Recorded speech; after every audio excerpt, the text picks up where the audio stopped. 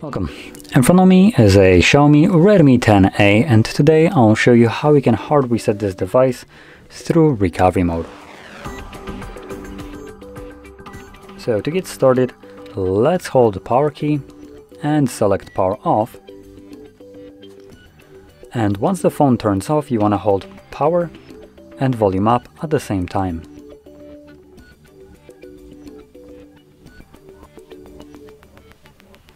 Now if you don't uh, feel a vibration after like first 5 seconds of holding those keys, you can let go of them and start holding them again. And when you see the Mi logo on the screen, let go of the power key, but keep holding volume up. This will boot us into recovery mode. So from here you want to use volume keys to navigate. And with that in mind, select wipe data, confirm it with power key, wipe all data, confirm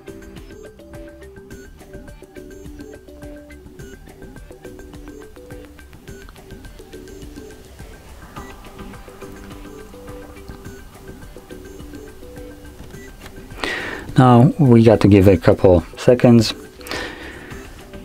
or minute depending on how fast it's gonna do it.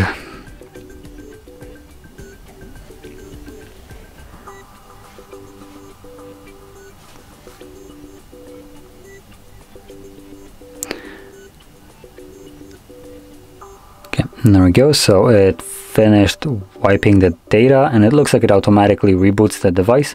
So it's going to continue the entire process all the way through without any kind of additional uh, like requirements from you. So just let it run through. Once it's finished, which will probably take like five minutes or so, uh, at that point we should be greeted with an Android setup screen. So I'll be back once that is visible for me.